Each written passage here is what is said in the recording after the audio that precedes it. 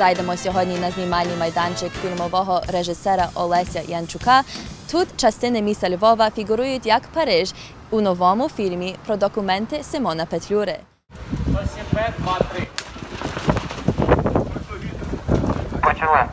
Представляючи цей проєкт, який має назву Таємний щоденник Симона Петлюри, проєкт, який стане художнім кінофільмом, ми розуміємо, що в нього буде багато опонентів, навіть відвертих супротивників.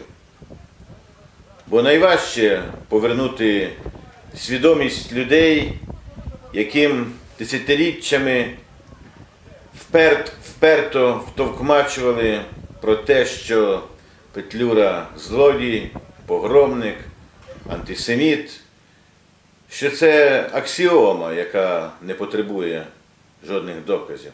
Пропаганда, яка насичена брехнею, яка панувала понад 70 років, спотворювала свідомість народу. І тому дуже важливо створити фільм, в якому ми представимо глядачеві правдивий образ Симона Петлюри.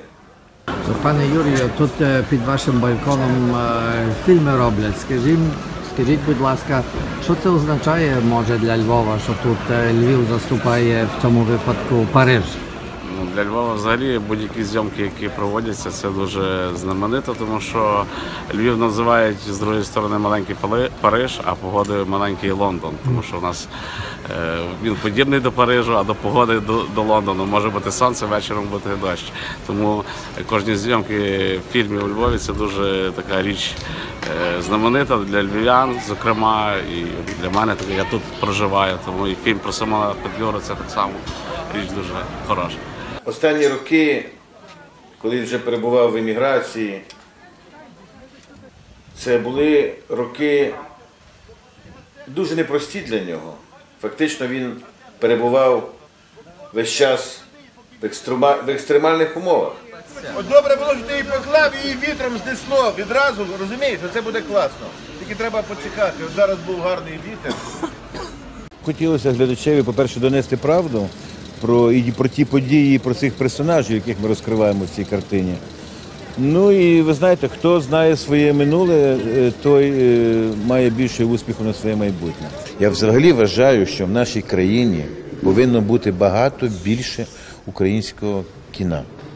От, якби у нас було е, вдоста українських фільмів, тим паче на історичні теми, я думаю, у нас би не було проблеми ані Криму, ані Донбасу.